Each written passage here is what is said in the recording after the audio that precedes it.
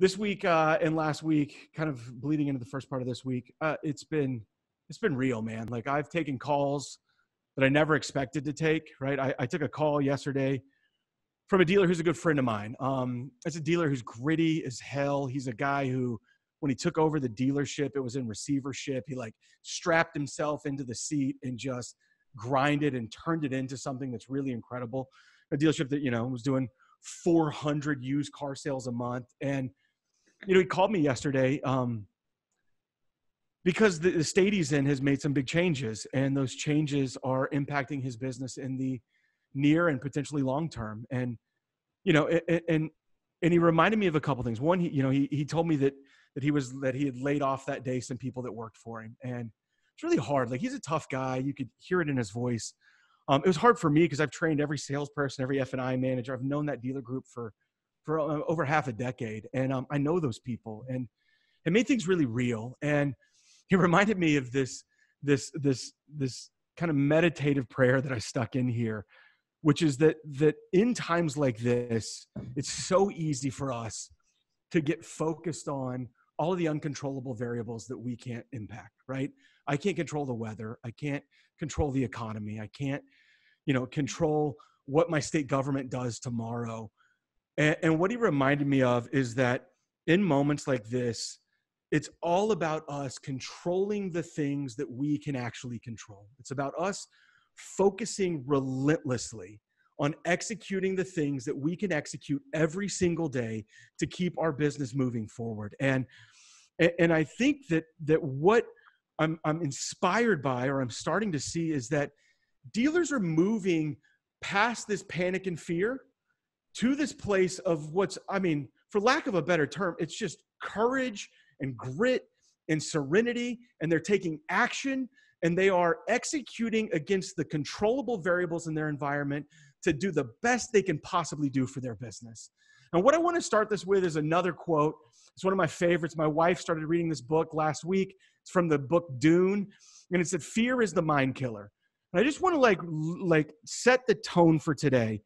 That there's two things that we can do. We can be crippled by the panic and the noise and the fear that's out there, and we can let that slow our creativity, slow our execution. We can make that let that stall us or we can push that to the side and we can say, okay, here's the things that we can do, and we're to go do them to the absolute best of our ability. And so, what we did over the last week, what I did was, I've been on the phone, some of you know because you've been talking to me, from like seven o'clock in the morning till 10 o'clock at night, talking to the dealers that I know are already doing this. And the dealers that I know are already executing things that I want to get shared in the marketplace, that I want people to hear and to understand, and that I want to be actionable that you could go implement right now that can make a difference in whatever environment you're in and whatever that environment could look like tomorrow. So, today on this call, what we are going to focus on is we're going to focus as a, as a crew here on the panel with the specifics of what you can do to execute a remote sale for a customer. So I want to introduce my panel to start off with. I've got some awesome people. They're NADA graduates. They're people that are that are very progressive and are are, are tackling this one day at a time. They're people that have really good um, operations. I know the people in some of their operations. I know the way that they've been thinking about this before COVID 19 was even a thing, and the way that they've put systems and processes in place that will help them as we enter into what the next you know day week month looks like so what i do is i got cliff gondek he's the general manager of germain automotive germain honda in dublin ohio i've been to that dealership I, uh, I've visited him multiple times. So Cliff Gondek, welcome to the uh, welcome to the call. He's an NADA Academy graduate. Cliff, who do you have with you? So to my left, I have Amanda George. She's our uh, BDC manager, and she's been with us uh, probably three to four years right cool. now. And uh, she's been a uh, integral part of uh, our success with uh, our, our entire process for that digital mm-hmm. person. And uh, you know taking them down that road to the sale whether it be remote in store um, really whatever way they want to go right? Giving them the choice. And then i have uh, john johnson over to my right. He's uh, one of our managers. He's been in business a long time. How many years john? 17 years 17 years i know he doesn't look that old wow um, but he's been in business 17 years a lot of different positions too so um, you know the managers are equally as supportive right to the remote remote selling um, giving information right um, taking away some of that friction, right? Some of those pain points in uh, you know in that sales process. So, awesome, man. Well, really big you. assets. Yeah, and we're going to dig into that. And, and I want uh, also with them at their team right there, you have Marlo Halliday, who's the director of dealer success for the Northeast region for AutoFi. So she's there with them, and we'll be able to answer questions from that perspective of somebody that's out in the trenches with their dealers working through these things. We also have Karis McKee Kaiser. Karis is the digital ops director or digital operations director at McKee Ford Lincoln in Rapid City, South Dakota. Karis, welcome to the uh, call and tell us a little bit about yourself.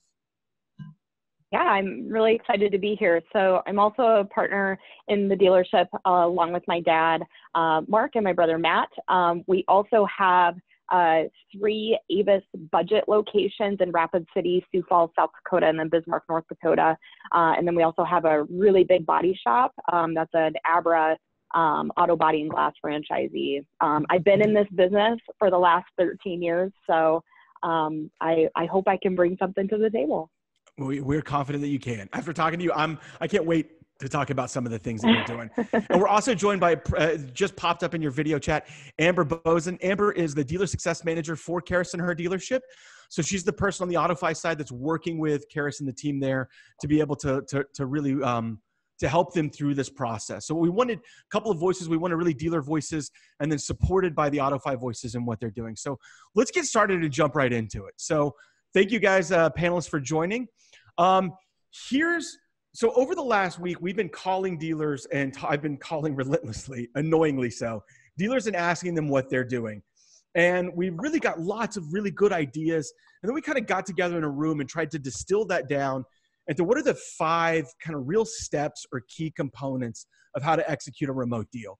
And so, you know, what we really heard over and over again, the patterns that we heard from dealers was one, the mindset shift. Right, we're going to dive into what this mindset shift means, what it means in a way that you think about selling cars. Then we're going to talk about customer contact. In a place where there's social distancing, what does customer contact look like, and how are you managing that? If your if your state in the worst case scenario says that your variable ops can't be open, doesn't mean that your website's not up. And how are you managing what's happening through your digital storefront? And then we're going to talk about remote consultation. If I get a customer that doesn't want to leave their house, but um, they were in a wreck three weeks ago and they finally got their their gap settlement and they need new transportation. How can i consult with that customer in a meaningful way using technology that's available? And then how the hell do we manage test drives right? How are different dealers in the marketplace managing test drives in a way to help customers interact with the vehicles that they're thinking about purchase and then finally, we're going to talk about F&I and remote delivery. I know in the last one, test drives and remote delivery had a lot of questions. So we're going to talk through the different ways that dealers are doing that. Now, caveat to all of this. This is a super fluid situation and things are changing by like the minute, the hour, the day. Our my stance is check with your state dealer association all the time to find out what's happening. Check with all the resources that are out there to make sure that you understand what is available in your marketplace for you to execute. Don't get frustrated by the things that aren't available. Focus on the things that are available in your marketplace. And the best place for that information is the state dealer associations. So let's dive into the first one. First one is the mindset shift. And this is one that um, that Cliff, I think you you brought up to me before we even set up this webinar was thinking or rethinking the way that a BDC or an internet department operates from being solely focused on setting appointments to actually repurposing those assets or those humans as really focused on selling cars. So, what I've heard over and over again from dealers, first and foremost, is if you've got a CRM that is clogged with like a 180 day follow up that is automated on drip campaigns that are all about come into the dealership, come into the dealership, come into the dealership, um, I'm hearing over and over that dealers are killing those campaigns. They're literally turning off all that auto response long term drip campaign. And what they're focusing on is the the members of their business development team, the members of their internet team are really focused on getting real information into the hands of a customer in very simplified formatting that is here's your car deal here's our covid you know our covid process here's how you can actually work that car deal so I wanted to kind of open it up first to Cliff to tell me a little bit about your BDC department and how you're kind of shifting the mindset of the role that they play in, a, in an automotive purchase. Yeah, so you know we we shift all the time, right? So um, because market conditions change, right? COVID nineteen happens, um, but you know, we really want to take uh, you know the the the lane of being of service to a customer. Um, you know, in a clear, concise communication, right? And uh, you know that's how we ended up with AutoFi. Um, most people use their mobile devices, right? Most of our communications, whether it be a, a web lead, um, you know, response internet lead, it would come back um, on the mobile device, not clearly. Um, sometimes we, we're guessing what information to give them, um, you know, and, and it wasn't uh, detailed out. So we weren't really doing a, a service for the customer, right? Um, so we all know they spend 15, 16 hours online, right, doing all the research, and we still kind of cloud them with all the details or well, you got to come in, we have to see your car, right? So, um, you know, the there's never been a time where there's more information available for that customer and they're more knowledgeable. But you know, I think we're still treating them like they don't know, right? And and that's really where we wanted to shift and partnered up with AutoFi on there too, um, because it's clear communication, um, right? Um, there's no gray area to it, and it's what the customer want, wants, right? So I, I believe if you can match that process to that customer's needs, right? They want to save time and they want information, right? And if you can provide those two things, whether it's remotely um, or they want to come in store, again, giving the customer choice, not shoving them down a certain funnel or a certain lane, right? Traditionally, we'd always, you know, you have to come in, have to do this. We can't give you a price over the phone. Um, but that's exactly what all the most successful internet businesses don't do now, right? Amazon, they give you any price. What do you want? They give you choice, right? You slide your finger and you have it, right? So, you know, us as as an auto industry, I think have to adapt um, to how how that consumer is buying and what they want, right? So, would you add anything to that, Amanda? I think just finding out what the customer has done, um, and then picking up kind of where they left off and figuring out what makes them comfortable and what more information they're wanting, and then just kind of, you know, doing what the customer wants to do. Yeah, I mean, I think that's that's spot on. Karis, what would you like to add? What are you guys doing with your BDC uh, at McKee Ford? Um, we we actually don't have a BDC. We have a five person internet team that are cradle to grave, um, and and really it's and I'll have to echo what she said was you know just picking up where the customer left off, trying to figure out where exactly they left off in the process, and so that you're not, um, you know, backtracking. Uh, it's all about customer experience and saving time, especially in these times. Yeah, it's it's it's like a quote I I heard from Candace Crane that that people change when they're either um, uh, like uh, I can't remember the word, but just you know bold and crazy or desperate and and what i'm seeing out there is that is that this environment is kind of forcing us to change the way that we're thinking about things and you know when you think about a bdc the the the the role has always been appointments appointments appointments appointments appointments appointments appointments well what happens when maybe i can't set appointments for my dealership and what is that when it becomes trying to pull information out of a customer to trying to push information um, to the customer. Thank you, Bree, for posting that to the panelists and attendees. People change when they're either daring or desperate. And I think that right now we've got to be both, right? And I think that right now the environment is causing us to take daring chances. And I'm really proud of us for that. So, anything else about the way that you guys are thinking about leads before we move to really lead response and what we're seeing in effective lead response from dealers? Anything else on the mindset? Well, the, yeah, the other thing they, that everybody has to remember too is a transparency, right? Mm-hmm so the uh, you know giving prices online or or being able to do that deal online, right? So not that hey you have to come in to give payments type of thing, and uh, not offering F and I products, all that, right? So again, um, transparency, being of service to the customer, and just helping them down that process, whatever it is. So um, I think the key key to a lot of it is transparency. Yeah, and I, you know, and you you're even seeing in the chat boxes as we're talking about this, people talking about appointments that they had set like for this weekend that are already canceling, right? And, and we're seeing that people are much more leery about that and thinking about um about where it's going. So let's talk about about the customer contact. One of the things that I've heard over and over from the dealers I talked to this week is that video response is what they're leaning really, really heavily on. Right? They're leaning on a video to create a connection with a customer and to introduce who they are and explain things. So we kind of built out, and I'm going to just walk through this really quickly. A, best practices for video response in this time of how to kind of structure one and then Karis and, and, and cliff i'd like to get your content like your eh, like perception on video so what we're hearing is one, it's got to be personal and human, right? Like right now, it's all about being personal and human. By the way, there is a video lead response poll pop up, so everybody answer the poll. I want to find out who's using video. So what what we're hearing that the best practices is that it's a personal introduction. It's very human. It's me, like this person here I put in the picture. She's awesome at it. I don't know what BDC she's in. I don't know where she came from, but it was sent to me by Marlo, who's there with you guys, Cliff, and the response was magic, right? She was very personal, made me feel comfortable. I was like, oh, this is awesome. And what people are now doing is that person's is reiterating what their COVID policies are and really highlighting the remote sales process. So I want you to know at our dealership, our COVID policy is this. This is how we're sanitizing things. These are the precautions and steps that we're taking. We also have a remote sales process where we can do everything remotely, and they kind of define that.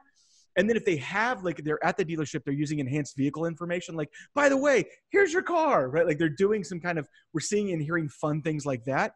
And and then I think that um one of the new things that popped up last week that I hadn't heard before last week was really explaining remote consultations. By the way, we can set up a webinar where we can communicate. I can share all the information with you. You guys can ask me questions.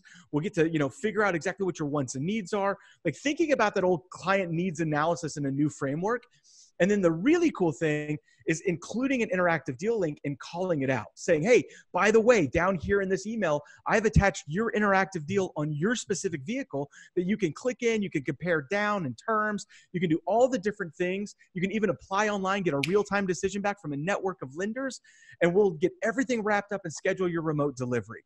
So, the question I have for you guys, really, Karis and, and Cliff, and probably Amber, is are you currently using video responses to customers? And what does that video response look like at your dealership? Like how are you guys taking that on? So we yeah, do. Absolutely we, we, I, I should have control i should have go ahead Karis, and then we'll jump down the cliff. There we go. That's the right sure.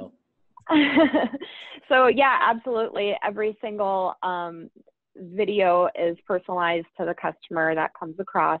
Um, our, our for every lead that comes across at our dealership. Um, and um, we, I, will have to take that back. We're not really doing highlighting the COVID policies as this, at this point. We have it on our website. We're providing a link to it, um, but that's that's a good idea. I like that. Um, but we are definitely highlighting the remote sales process as of now because we do have quite a few customers that are concerned with that. Um, and and we just try to reiterate how easy it is for them to do it. And then also, uh, like you said, Joe, just providing an interactive deal link with every single video. Um, and then, then, uh, and then hopefully if the vehicle is available, we can just send them a video right away.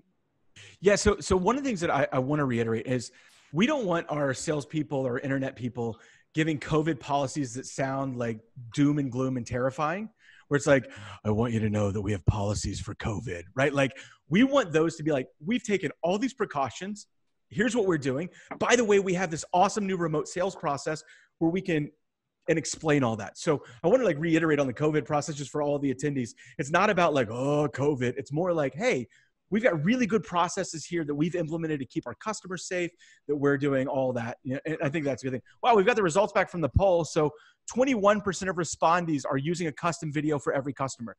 If I could make one recommendation that I think would impact how this is going to play out for people, I would say really focus on sending a custom video out to customers. Um, can video, I've seen that really decrease. They're not just shooting a hi, I'm Joe, I'll be your salesperson video. And then dealerships that are leaving it to the salespeople discretion, as long as you're monitoring it and you're really like holding them accountable, don't just say, oh, yeah, I want you to use video. And then two of your people sent out four videos last week. It's really about setting that tone with customers. All right, Cliff, how are you guys using video at Germain? Yeah, we've been using video for some time now, probably a year and a half to two years. Yeah. Um, you know, one is one is you know find the right application um, so the video comes across correctly, right? So its size is right. Um, it's a mistake that that we've made along the way. Um, so find the right partner for the video would be the first thing, right? Um, because it, it has to size up to uh, whether it's on your, your phone or tablet or whatever that is.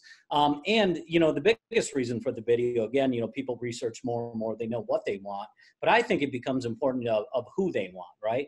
And who they want to do business with, right? So we have to humanize that process instead of, you know, 180 day follow up, right? With, with, you know, these two page emails and everything else. Um, we believe the customer really doesn't care about, that, right? So less is more, kind of. They want the information, they want it fast, and they want to know who. So unless we humanize that with a video, I think we're doing that customer a disservice. Um, so we've really ingrained that into into our entire culture. Um, where where salespeople they just do it now, right? And and once they saw the lift and how people like that, right, they like doing the video, right? So of course we get that first. I don't want to do videos. I'm not good, right? All all the normal stuff, right? But then uh, you know the customer feels comfortable. One, it, it's not a brand new introduction when they get to the store, right? So they they have most of their deal structure, so they know what to expect they, they see what you look like, right? How many times does somebody come in and go, wow, I thought you looked different than this, right? I bet you've heard that, Joe.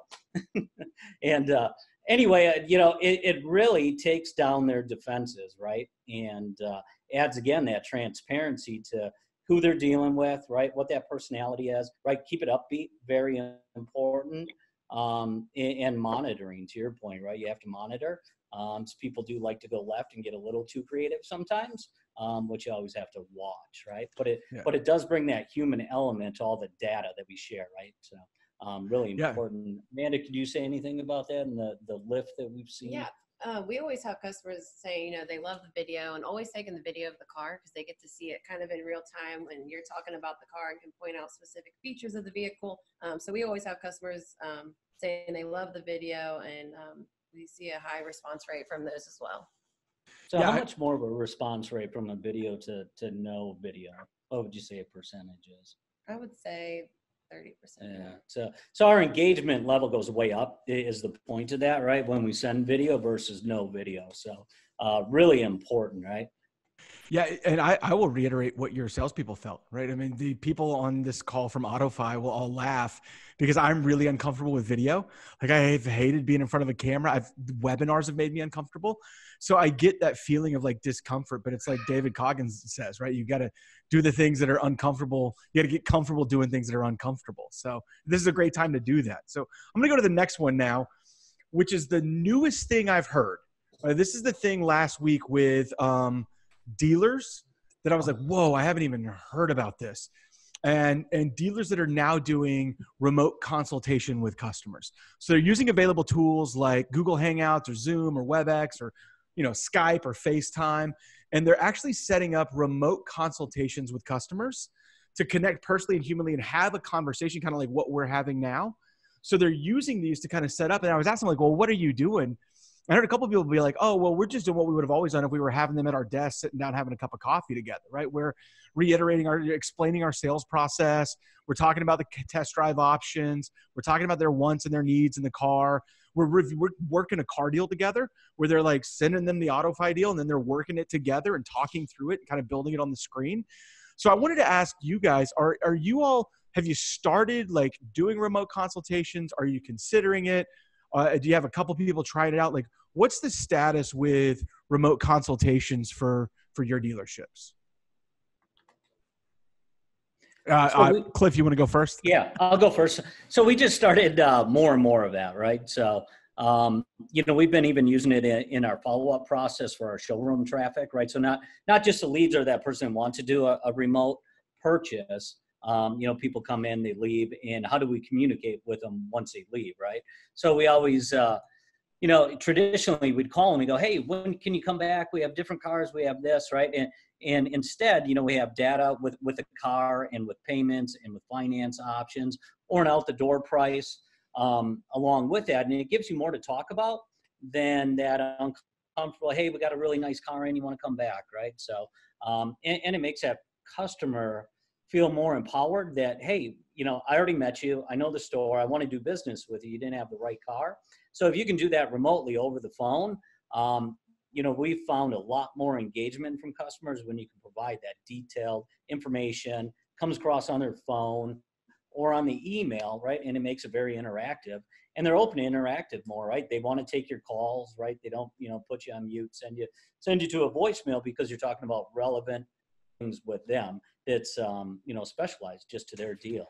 Yeah. So what I was hearing uh, this week was dealers saying, "Yeah, we're sending out the video and we're using that video to set up a remote call where it's a you know Google Hangout." And um, I actually did one with my optometrist. I got some new glasses in, and they were a little bit snug. They shipped them to my house instead of me picking them up. So I emailed him. I was like, "Hey, can I like with this? Can I bring these in? They're really giving me a headache. They're too tight." He's like, "We'll do a Google Hangout, and I'll help you shape them yourself." And he like walked me through shaping my glasses together. And then when I started talking to dealers, dealers were doing the same thing. They were using that so that they could have a salesperson, you know, at the dealership or at their home, talking to a customer at their home via a video chat with a, you know, a deal put in between them, like our AutoFi deal right here, and they're working through that car deal together. Karis, are are you guys in South Dakota doing any level of remote consultation with customers? Yeah, absolutely. So I've had um, a couple of sales consultants that have been utilizing FaceTime, and um, we're starting to integrate Zoom in with our process if um, if it's applicable.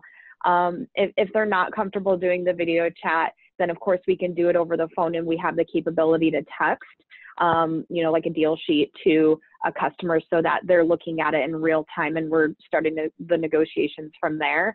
Um, it seems to have worked out really, really well. Um, and uh, we'll, we'll obviously, we, we've been doing that for a long time and we'll obviously, I think we're set up um, for success continuing through this. That's awesome. It's great when what you're doing is kind of preparation for what's coming and it gets the team eh, i've i've had a handful of dealers last week really tell me like look we've got the culture in place we've got the people in place we've got the processes in place because we've been working on this for the last year or the last two years so it's cool to see that at, at your store so let's talk about about the next piece of this right? The test drives. There was a ton of questions on the last call when it came to test drives right? Like there was a lot of questions about test drives and so I, I want to talk a little bit about safety, but I also want to talk about the different ways that I'm hearing dealers offering test drives. So are they doing no test drive? Like we're not doing any test drives? Are they taking the cars to customer's house? By the way, on this poll, you can select multiples. Uh, it's one of the ones where you can select multiples. So, are they taking the vehicle to? Are they telling customers the only place that you can do a test drive is at our dealership? You know, you got to come in. We're going to get a scan your driver's license and insurance. Are they doing it at the consumer's home and the salespeople are taking pictures of the driver's license and insurance? Are they doing neutral locations? I've heard some dealers talking about using the like, I've got Star World third, like Star World 20 Cinemaplex by my house, and the parking lot is completely empty. And so they're meeting customers there. They're explaining kind of what their their process is around disinfection and sanitation. Or are they doing video test drives where they're doing test drives? Now, I put a screenshot in here, but I want to like be very clear practice you've got to practice safety when you're doing video test drives which means not driving like this as you're trying to film the test drive. Um, so make sure that you're doing it in a, in a in a safe and compliant manner. So i want to ask the panelists we'll start with Karis this time. How are you guys managing test drives in this environment um, in kind of in this context? Yeah i think this is probably the most difficult part of the sales process doing remotely obviously because um, we're in the car business. Um, and what we've been doing, we've we've been doing all of those things. Um, you know, we've been very lucky that most deal or most people have still been coming to the dealership. Uh, we've been reiterating our, like, like you said, Joe, our sanitation and disinfecting policies with COVID-19. Um, we've been going to the consumer's home and providing them with uh, a pair of latex gloves or rubber gloves um, along with bringing disinfectant. Um, and we've also, I've heard of a couple of sales consultants meeting at a neutral location near here as well.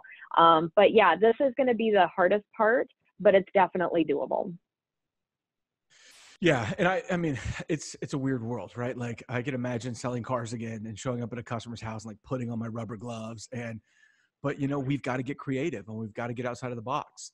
Um, uh, for you, Cliff in, in Dayton, mean, you guys are in a state yeah. that I think announced yesterday that they're um, that variable ops is not a, a, necessary business or an essential yeah. business. Right. So how are you guys handling it? You know, we're we're flexible, right? So we're still a uh, considered a, a, an essential business. Um, so if somebody crashes, needs a car, their car blew up, right? We're we're still considered under that umbrella, right? Our showrooms aren't wide open, going, hey, we're we're open during you know the COVID nineteen, um, not by any means, but we have um, you know, we have everything posted, right? What we what we're capable, what we can do, and then flexible, right? So, um, you know, if we if we had a doctor and he can't leave the the hospital, right, but he needs a car for whatever reason, um, we'll take it to the hospital, right? If somebody wants to meet us at a neutral ground, we'll meet them there. Um, you know, if they have to come in, they have to come in service and want to test drive while, while they're here. So, um, really, you know, just whatever that customer needs, we're trying to be adaptable um, to make their life a little bit easier, right? So, whatever that is, I think we're totally open to it. Um, you have anything to say on that, JJ? No, just uh, being open to what the customer needs and wants. You know, being adaptive to uh, to the situation and being aware of, of what's going on around us right now. So, um, the more comfortable the customer is, I feel the more comfortable they'll be as in coming in and, and test driving the car. Um, and you know, we're up front on the cleanliness and uh, letting the customer know that we're we're taking all the precautions possible. So. Yeah, that's the other thing, and and good point to bring up, JJ. Right, so we've uh, we've bought every uh, uh, you know disinfectant that was available at every store. I, you know, I've added my service manager. I think he's been to every CVS in the state, and uh, we leave it highly visible, right? So they so the consumer feels uh, comfortable with the environment, and uh, that goes to the car too, right? So that we're taking a car to their their home, right, that becomes their environment, right? Same as if they're in the store, right? Um, you know, we have disinfectant everywhere in the store, and uh, we try to provide that too within the cars, right? So that way they feel 100% comfortable, whether it's wiping down again, asking that customer um, what they would like us to do, right? So instead of forcing them down the lane, like, hey, do you want us to wipe the car down? Do you want us to do this? Do you, would you, you know, want to meet us at the movie plex? Do you want to bring to your home, your work, whatever that is, right? So I think asking the right questions also leads you down to uh, how you can help and serve that customer. Yeah, it's, one of the interesting things. Uh, you know, Corey from uh, from Shaker in Connecticut, they've mandated curbside test drives. So the customer can come to the dealership, they pick up at the curb, they can drive the vehicle from there, but they can't come into the dealership. Are any of you guys doing video test drives, like actual video test drives and sending to customers? We have not. Not not yet. Cool. I just wanted to know if that was something that was that was happening out there. Now let's um uh, we're gonna go past test drives now. We're gonna get to the F and I and remote delivery. I think this is the pressing piece that it felt like a big chunk of the questions on the last week's webinar were really focused on. So I want to kind of review what I've heard from dealers. So I've heard uh, kind of really three or four uh, approaches, and I want your guys uh, to tell me kind of what you're doing. Not kind of, but tell me what you're doing at your dealership. So uh, one of the ways I heard was uh, uh, Brandon Stinson from Ricart last week. They're doing F&I manager delivers the vehicle to the customer and reviews their F&I paperwork with the customer in person. So at their dealership currently, the F&I manager is taking the car going over the menu has a couple of you know sets of, uh, of contracts typed up that are you know with c- coverage and without coverage and they're reviewing that paperwork with the customer. They're doing their protection presentation and then they're signing the customer there because each one of their f&i managers is a notary and they can notarize the documents and do it that way. I've heard a lot of dealers are doing kind of the old school remote where it's F&I managers are calling the customer or video chatting the customer to review the protection options and try and sell the product and then they're just printing the paperwork and you know getting it to the customer somehow. Um, and then i've heard some people are using like um, that like uh, the, there's some really cool companies that are doing outsourced notary or, or they're sending so they're outsourcing the notary to somebody that's doing the actual paperwork whether it's remotely through a computer or actually taking it to the customer and then i've heard some dealers are using their dealer notary like from their accounting department that's going to the customer now that was when i had a hard time wrapping my head around because i can't imagine my notary and accounting driving to a customer's house and getting the document signed but i'm hearing lots of creative things so i wanted to ask really we'll start with um, with uh, with Karis. You guys are using like an outsourced notary. how, how is your remote delivery process look from are your f&i managers calling the customers? Are you how are you kind of handling the the tail end of the deal that seems to be the most complicated? And before you answer i do want to just caveat this with check with your state dealer associations. Every state is different right? Some states it requires wet signatures. Some states you can e-contract everything. Some states you can't technically deliver at the customer's house or you get like a 10 day period. Like there's all sorts of wacky rules out there. I don't know all of them. I'm not an expert. Karis, i want to know in south dakota how are you delivering cars to customers remotely? Sure. So we've been really lucky to partner with a third party uh, notary company. We've typically used this with out of state deliveries um, or uh, deliver or co-applicants. Um, we've used this third-party uh, company, but they uh, they contract a notary in that area, and that notary will go to the, to the customer's house or will meet at a uh, general location, whatever location that they choose, um, and they can complete the paperwork. Now, before that happens, our F&I department they do do um, you know a traditional remote delivery via phone um, or they will do a zoom as well I, I really like Zoom for F and I because you can pull up your menu screen. I like it for I, I'm comfortable with it now. But so F and I is reaching out and communicating with the customer, and then you're having this like third party remote notary person get the document signed. What about Cliff? You guys in, in, Ohio, what's the process right now on F and I for you with remote deals? Yeah, so so we take it on a case to case basis, um, depending on location, right? I think that's the biggest dictator, which uh, tells us what path to go down, right? So if they're if they're out of state, that's one path. You know, if they're uh, just want the car brought to their house, that's a different path. And, and who does it at that point, right?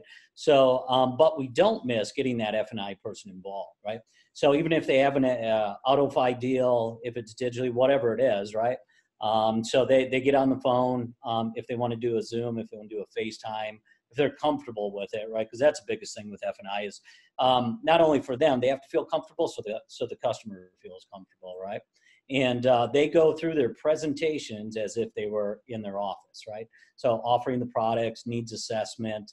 Um, they really do a great job in sticking with their process, right? Like that customer was there, so um, they schedule time right? So, hey, this is going to take a half hour, so the the customer doesn't think it's a five minute call, and uh, is like, hey, you, I was just going over my final number. I have to go, right?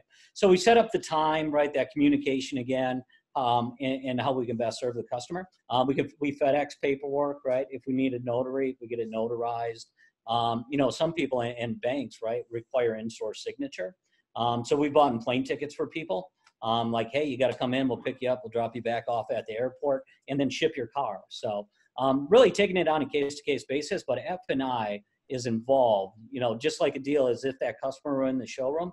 As soon as we run that deposit, F and I is like, hey, who's up next? Right? Let's look on the log and let's get them involved. And they take as much time and, and again go through that process, right, to see what that needs of the customer is. And uh, it's worked out quite well. Awesome. Thank you so much for for your guys' insights. And then what about delivering the vehicle? Um, I know the options are kind of like at the dealership or the customer's home or neutral location. I've also heard of dealers that are like literally uh, it's almost like a lot porter are just dropping the car off. They're leaving the keys and the books in it, and then they're doing a remote deep dive delivery afterwards.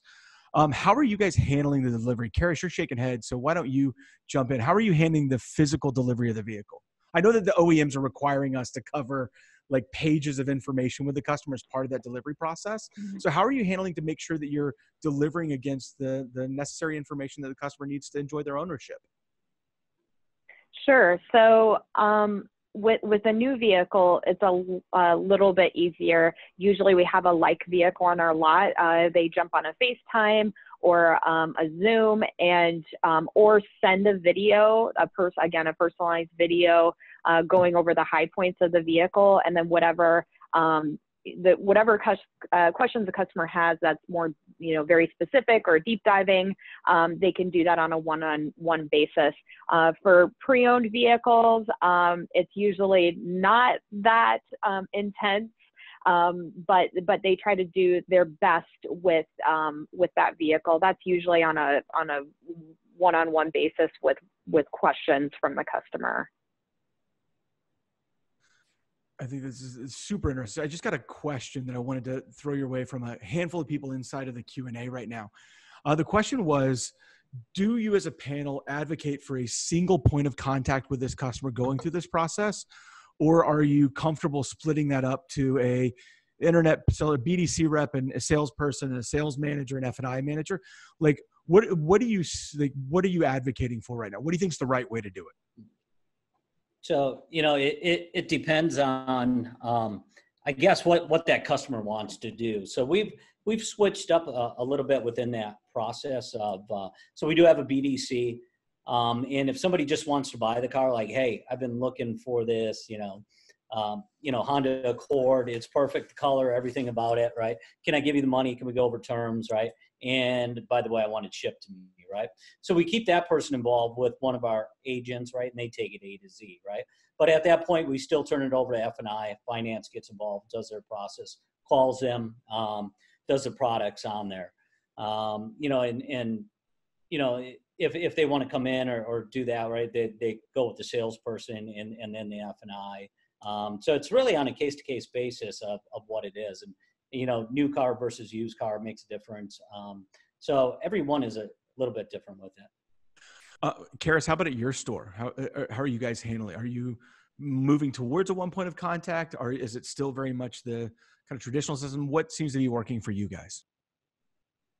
Um, so we, again, we don't have a BDC. Uh, we have internet sales consultants that take it from um, first point of contact all the way to F&I. Um, that's when we bring in the F&I person, but I'll have to um, agree with Cliff. It's, it's really on a case by case basis whether you get more people involved. Um, I think the idea is to try to get, you know, limit the contact to just um, as few people as possible to make the customer feel comfortable. But um, you know, it's it's all going to be on a case by case basis. Awesome. Well, guys, I think we uh, here's one of the proudest moments I've had in a webinar. It is exactly 11:45 and we are at the end of this presentation piece and now we're going to open it up for a Reddit style ask me anything. This is the time that you as the as the attendees can ask whatever questions you want. Bree will be flinging them over to me in the panel and we will um, so use the q&a i think it should be maybe over here. So use the q&a fill out your questions and me and the panel are going to do our best to answer them.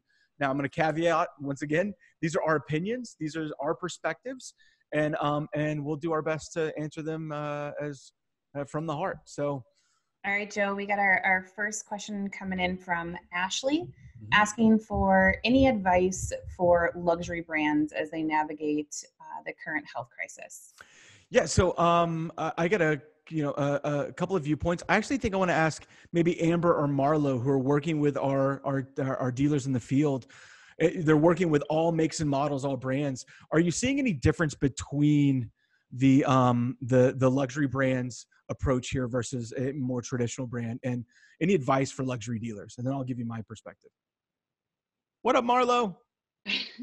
So I am seeing a bit of a difference um, between luxury brands. Um, luxury brands is a little more white glove, where they're uh, if the person is still coming in store, they're cradling it a little bit more um, and kind of working that deal a little bit softer approach. Um, but it's usually one person that will take this cradle to grave and they go above and beyond what they need to do. So if the person wants to meet at the house because that's where they're comfortable, they'll meet there. They want to meet at a coffee shop or an empty parking lot, they'll go there. They'll do what the customer wants to do and what's what the customer is ultimately comfortable with. Awesome, Mar- Marlo. What are you seeing? I would definitely mirror that. I think that possibly some of the high lines have already had this experience where they're used to doing one point of contact, um, sort of that empowered salesperson to go as far as they can um, through desking and so forth, and sometimes even F&I presentation, as well as I think they're also maybe a little more adept already at remote deliveries. So I think they've had prior experience to this just based on their demographic um, and the demands of that that customer for the Highline. Yeah, and, you know, I've been pretty involved with uh, a, a, pilot for uh, an American luxury brand, uh, Lincoln Motors, and been really impressed with the way that their dealers have for the last, you know, six months, last two years, really adopting an effortless process for their customers. They even call it the effortless process. And we've really worked to, to empower them to remove every friction point they can for that customer, whether it's a buyer like me who want to might want to buy from my sofa and have you bring my, you know, new Corsair to my driveway, or it's my dad who's buying his third navigator and he wants everything done but he wants to come in and drive the two of them because he can't tell the difference between the black label and the regular one so i think that um, we're seeing dealers really uh, on the luxury side I think diving a little bit maybe faster and a little bit deeper because they've been doing it for a while with their OEMs. Um, so we got another uh, really great question that came in from Grant Dahl. How are dealerships that are currently shut down handling their internet leads? We know that websites are still up, leads are still coming in. What are dealers doing to manage that process? Yeah, so I, I think this is a big concern for everyone. I, you know, Cliff, I know that you guys are kind of in that state right now We in are. Ohio. How are you guys handling it? And then I'll share what I'm hearing from other dealers. So right now we have our agents working from home on split shifts throughout the day. Um, so we are still communicating with customers, giving them pricing and stuff like that. Um, I'm here at the dealership, so I'm able to send them pricing, and then they can work that deal through AutoFi. You know, email the link, text the link, and also just let them know what we can do. Um, if you want us to bring the car to you, we will do that. If you want um, to, you know, come in and test drive the car, we can do whatever you want to do. But letting them know that we're open to doing what the customer wants and then they communicate that with me here at the source so that I can get um, things in place. It's a, that's a good answer. You know, we've got mm, folks from NADA on here. I know that they've been advocating incredibly hard uh, to both the, the federal level and then really pushing down into the state level. Saw an interview with Rhett Ricart, the chair of NADA, on CBT, and it was it was inspiring to hear him getting gritty and bulldoggy about the ability of car dealers to to fight through this and, and keep our industry going. Um, and I think that when you look at the states that are probably the most restrictive right now, there's a good list, and I will post it to LinkedIn after this, uh, or a good link to uh, uh, effectively what's happening with the secretaries of state in all states and who's staying open so they can register cars, who's closing. The, the key for me is to get the information that's out there and then to find the ways in your environment that you can continue to operate your business. I'm a firm believer that, you know, shutting down our physical location doesn't mean ceasing operations. It's like my optometrist. I can't go in and get my glasses fitted, but I sure as heck can buy a new pair on their website right now. And I think that for us in the car business, it's doing everything we can in those states, like in Michigan, where the Secretary of State isn't going to register cars until April. Well, Michigan dealers are getting, you know, one, they're banding together to, you know, uh, to approach the state government to try and challenge some of these, the, the, the you know, these laws or these these rulings or these decisions but they're also working creatively to find ways to get customers that need transportation transportation. I had a dealer tell me yesterday on the call he's like i you know i got a doctor who needs to be able to get back and forth to the hospital who totaled their car a week before this all went down and i'm in the process i ordered them a car it's going to be here in two days they're in a rental right now like that person should be able to get their car and they're getting creative in finding their ways to get those cars so for me, in states that are completely shut down, it's it's reach out to your local dealers association. Ask them what can I do? What am I allowed to do? Because I'm going to do everything I'm allowed to do to keep getting cars into the into the into uh, getting customers into transportation to get them back and forth to wherever they need to go. So I think that um that f- for my advice is check with your state dealer association and um and do whatever they will allow you to do. So Joe, we got we got another couple of great questions here. So uh, Lori Foster mentioned in the chat that traffic online, uh, she would think traffic online is stable as people have time, but we need to address these customers differently. So um, there's some really great resources out there. Dealer Inspire is posting daily updates, uh, and Lori, that's exactly what they're seeing is, is internet traffic is continuing to maintain. Um, we're also seeing that here at AutoFi. Mm-hmm. Now, Jason Hine asked the question to follow up on that. So this is really tactical. Mm-hmm. How are you initiating the first video call? Lead comes in, then what? Is it as simple as including an offer to set up a call in the first response? So, so I'm gonna answer Lori's first. Which Lori hashtag Better Together. I, I love you. Thank you for joining this webinar. Um, so first off, you know, when it comes to to internet traffic, I mean, we're seeing an increase in some situations. Like in AutoFi, I mean, I think we're up six percent over last week, which was up a percentage over the week before of interaction and utilization. So if you look at our graph of customers using it, people are sitting at home they're still looking at cars i'm still looking at glasses right? Like people are still shopping. I'm getting text messages i get a text message from the bill knight lincoln team on sunday that they had sold a car completely remotely to a customer that needed a car and wanted to buy it but didn't want to come into the dealership. So uh, you know I, we're, we're seeing that traffic increase. The follow-up to that on how are dealers responding that seems really really strong um, it's not about sending an uh, like a, a, first email to set up a video. It's about sending a video in the first email to introduce your dealership and what your team is doing. The second follow, like the follow up to that is a call, a web chat, a FaceTime, a something where we can sit down if the customer needs that level of consultation. If they're like me and their glasses are giving them a headache, let's get on a webinar and we'll solve it together. If they're like, no, I just want a text message and you send me information, let's do that. I mean, last week you had Jack Care from Pat Milliken who's like, I sold a car last week to a customer that I never physically talked to. I didn't speak to her. I didn't web chat with her. I didn't video chat with her. We text message the entire time until she scheduled the delivery. And when we delivered it, she was like, That was so awesome. I didn't really want to talk to anybody, but you were awesome. And then she sent her friend to them who didn't want a text message. She wanted to come in and drive like four cars and compare them.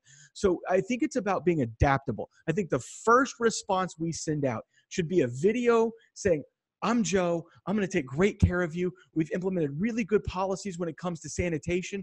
We also have a completely remote selling process where we can help you with your transportation needs. In fact, I've attached a link here beneath this email where you can click to see an actual car deal on the vehicle that you submitted your lead on. You can compare lease to finance. You can compare the, you know, the down, the term. You can even apply, get an approval back from a network of lenders, and we can do everything together without you ever having to step foot out of your house. And I think that that should be our first response. And it should build confidence. It should create a human connection. And it should help us to figure out that uh, social distant doesn't mean socially disconnected. And, you know, I, for me, that's the way to do that. So, Joe, uh, Pam just posted that Route One will be conducting dealer training every Monday and Wednesday now through April for remote e signing and training. So, uh, dealers are looking for some solutions there. Pam, thanks for that heads up uh, visit uh, routeone.com for more information. Yeah, so we've got a great question that came in here from Derek Newton, who uh, is Newt. What up, dude? In the industry, but he brings up a really good point. So his question is: I'm curious how dealers are dealing with the security side of things.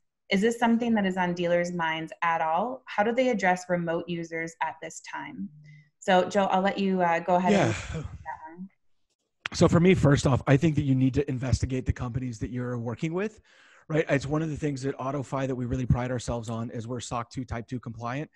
Meaning we don't only have a massive set of criteria that we have to agree to we're regularly audited to make sure that we are from a security perspective adhering to that. We have a chief information security officer. So for us as a company it's an important part of our kind of like fabric of who we are if I'm a dealer in this space, if I put my GM hat back on, and Derek Newton, by the way, was my finance income development rep when I was a GM.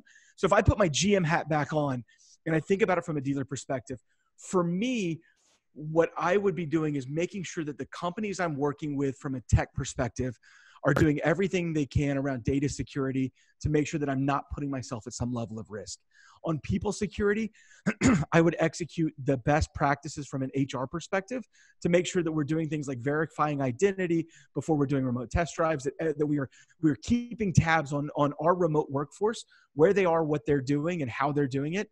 You know, Cliff, you brought up a good point with like, or I think it was Cliff, maybe somebody uh, earlier this week about using Zoom so that we can have all of our teams in their houses making phone calls and we can see what's going on. Uh, so I think that um, that for me it's about it's about working with reputable companies that have really good security infrastructure and verifying that and vetting that as part of your tech process at your dealership and two making sure that you're keeping people safe by executing really good hr policies around remote transactions and remote interactions all right joe we've got time for for one last question and uh, cliff i'm going to pass this one over to you my friend so i'm going to mush two together so All this right. is from Alexandra. She says, I work in a very old school type of dealership. Managers um, want really want us to make the appointment and get the customers in the store. Now, because of COVID, things are changing. What suggestions do you have for uh, for sales reps that are working in dealerships that are still operating off of a get them in, get them in?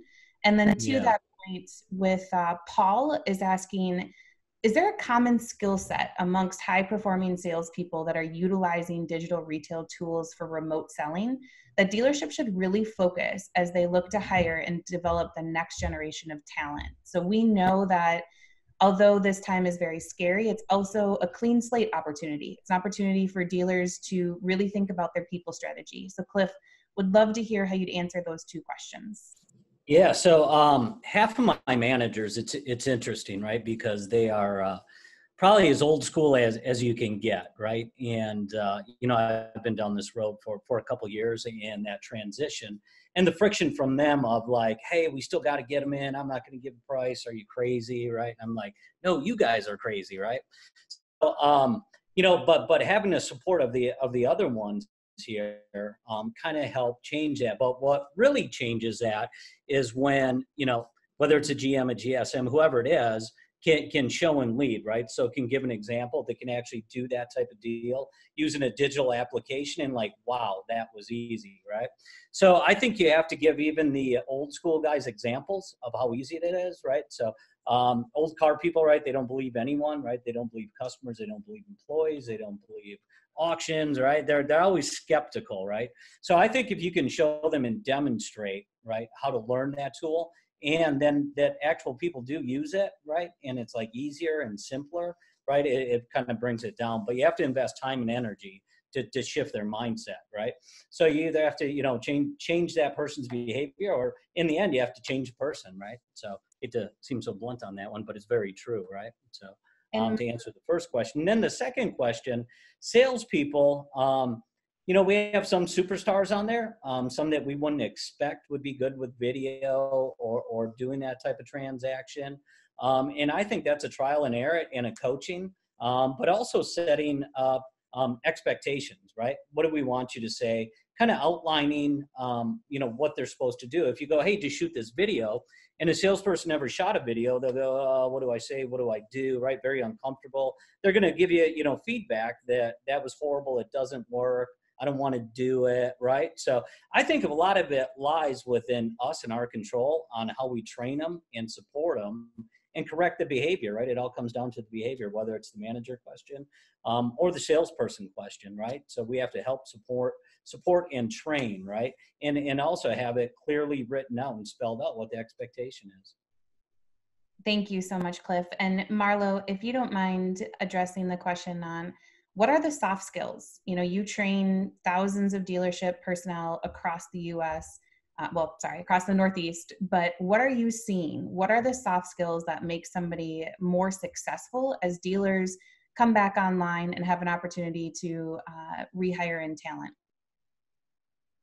I think the number one thing that I'm seeing is just a different level of authenticity and genuineness. Um, there's much, much less of canned responses. Uh, I definitely have dealers that do a really great job where every single lead is really read, digested before it's not just that rush, pick up the phone, send the email. They're actually digesting it, making a plan, and then when they pick up the phone or they send the email, it's custom. It's literally just addressing. So I'm seeing a much higher level of um, just taking a breather, really reading, and exactly what Cliff has been saying is you have to go one by one. What does this person want? And a lot of times now with our technology, we know exactly what they want. They're telling us, they're showing us. We see that pathway and they're actually digesting it before they start the conversation so we don't have the disconnect. That's the number one thing is to slow down, read, deal with the jewels that you're given, like actually digest that before talking to them. That's awesome. Okay. We have hit an hour. I want to thank this panel and I want to thank you attendees for showing up to this. It still blows my mind that we have over 550 people on here in my living room. And I want you to know we're going to keep these conversations going. If your questions didn't get answered, we will email you answers. If you want to set up a demo to see what our technology is, the number and the email is on here. Once again, panelists, thank you so much for coming. For those of you like Lori and Dave Hassett and Derek Newton and everybody on the line, I appreciate you guys showing up for this. Thanks for coming to my living room. And I'll see you next week when we discuss selling to service customers during this time. It's going to get more important and we're going to dig into how to do it. Hope to see you then. Thanks a ton.